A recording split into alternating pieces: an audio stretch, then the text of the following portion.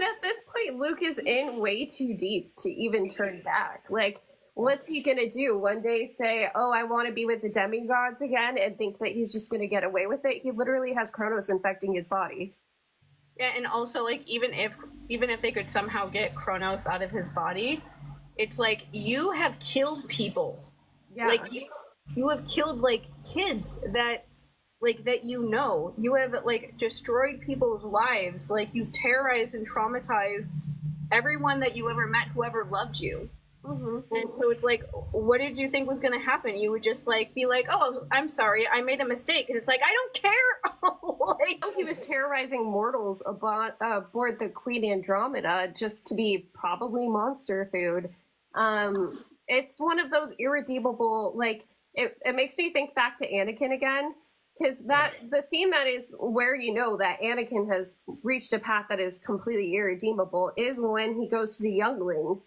And you know it's the one that gets clipped all the time of of the youngling coming out of hiding like Master Luke or not Master Master Anakin.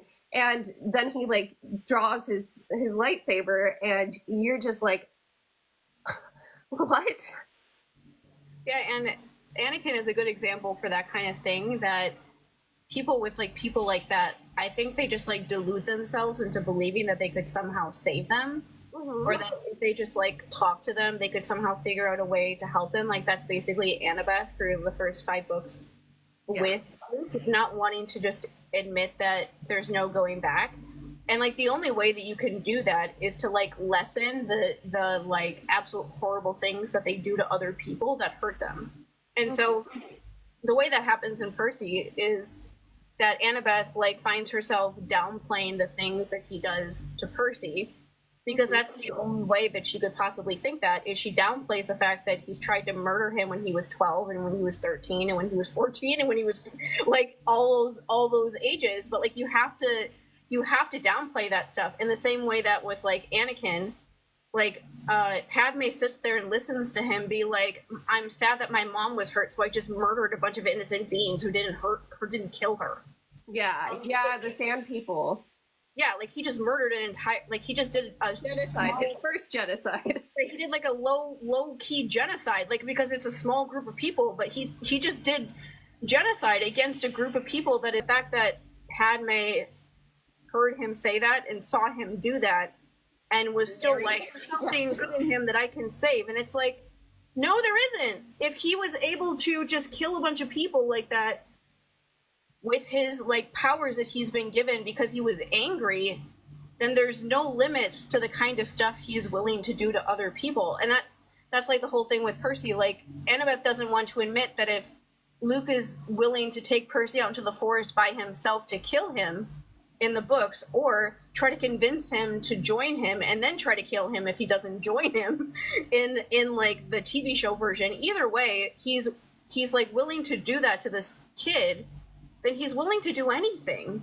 Yeah. If you're willing to do something like that to a 12 year old kid, then there's no limits to what you are willing to do to people that you see as like your peer. Like, it's the same thing with like Kylo, like Kylo Ren. Like one thing that I liked a lot about Star Wars with um, the sequel trilogy, like why the sequel trilogy is my favorite one out of all of them, is that like they have the moment with Kylo or Ben in the first movie where um Han offers to like just like come home with me. yeah And it's like a thing of like I'm not saying that everything that you've done so far is okay. Like he also murdered like 20 of his closest friends yeah and at, at at the Jedi Academy and everything. So it's not like he didn't do anything horribly wrong, but it's also a thing of like at least I can stop this. We can like stop this here so it doesn't progress any further than it's gone already. And you know, Kylo uh, stabs him in the chest and kills him. And so like they do that moment of like somebody wanting to give them a chance to like pull themselves back in the first movie instead of in the later movies.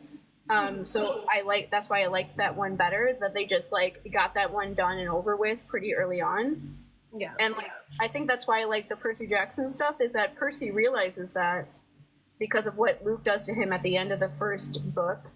Mhm. And but the hard part about it is that nobody else does. Especially with how they did it on the show that Annabeth isn't there on the show when Grover almost gets like sucked into Tartarus.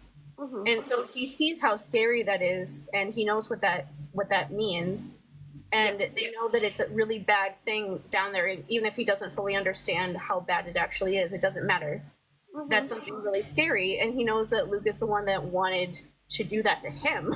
yeah. And so like realizing that somebody wanted to like that's why I like the TV show version better is that like because by the time they confront Luke, him and Annabeth have known for days by that point that he wanted to like send him down there, and they were just able to stop it just by like pure like coincidence. But Yeah. he knew for like they knew for days by that point that he was he wanted to do that that that was his plan. And so when you know that about a person, it's like everything else about them you start looking at and like thinking about again and being like, who is this person actually? Because mm-hmm. I thought he was being nice to me when he gave me these shoes. I thought he was giving me something to help me, but it was actually giving it to me so he could kill me. And um, it just makes you like relook at every single thing they've ever said to you. And that's basically what Percy was doing, the TV show version and Annabeth for that matter, in the days in like the day or whatever before they actually went out to talk to him. And mm-hmm. like the way that that happens on the show, I always like more because because I always picture that as like Annabeth and and Percy hoping that they were be- that they were wrong about him, yeah. hoping that that was like their moment of hoping that they could get him to like stop what he was doing now and not have it go any further. Um, but he's not listening to anything that Percy says. He's just like, no, we're gonna leave. Yeah. And Percy's like, I don't want to leave. what are you talking about? I just got back to camp. I like it here. I don't want to leave. That was like them like testing him. Hmm They wanted him to be good, and then it was like, well, never mind. Yep. That's not gonna work this time. Yeah. And I mean, it's, it's a theme in like literature. Uh, We talked about Gollum recently. Gollum's Yeah. another example of, you know, this is somebody who I really identify and I want to save them.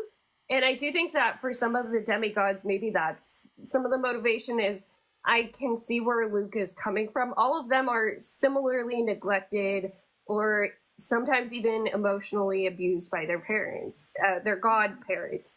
And so a lot of them can resonate with some of the things he's saying. But um, I, I feel like maybe some of them are thinking, like, you know, someone says the right thing to me, and this could happen to me too. So I like to think he could be saved because then I can be saved. Yeah, and it, it's also a thing of like, it just is how it is that even if you hear that someone has done something horrible, like that you know is really bad to somebody that even if you don't care about them, you just know that it's bad. Mhm. There's this this thing does happen to people that if you aren't like almost directly seeing it or experiencing it, it's people can very easily kind of like separate themselves from it so that it doesn't it just they don't let themselves actually think about what that really means. Yeah. And so a lot of the kids at camp are like that, where they just want to believe that Luke could be better, even though they hear these stories about how Luke keeps trying to kill everybody. They're not directly experiencing it some of the time, at least, and so it makes them want to hang on to like the image they had of him in the first place. All those are like coping mechanisms that people have. Mhm. But it, it does mean that one day when people figure it out, that we we should be allowed to be like, "I told you so." Yeah. We don't.